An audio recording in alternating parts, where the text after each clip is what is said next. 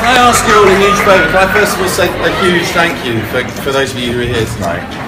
I really appreciate it. But all of this, all these cameras, all these phones, everyone filming me. But you put this to good use because I'm so sorry about our stopping twice. I'm so it's been a hell of a week. It's been one damn thing after another, as someone once famously said. But what I really want to do is try and enlist you. I don't use social media. This, this is part of it. Photographs, whatever, outside, fine. I can see cameras, I can see red lights in the auditorium.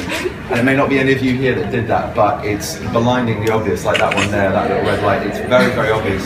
So we started again tonight with To Be or Not To Be, which is not the easiest place to be going to play, full stop.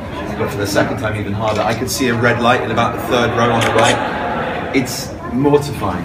And there's nothing less supportive or enjoyable as that to being on stage, experiencing that. And I can't give you what I want to give you, which is a live performance that you will remember, hopefully, in your minds and brains, whether it's good, bad, or indifferent, rather than on your phones.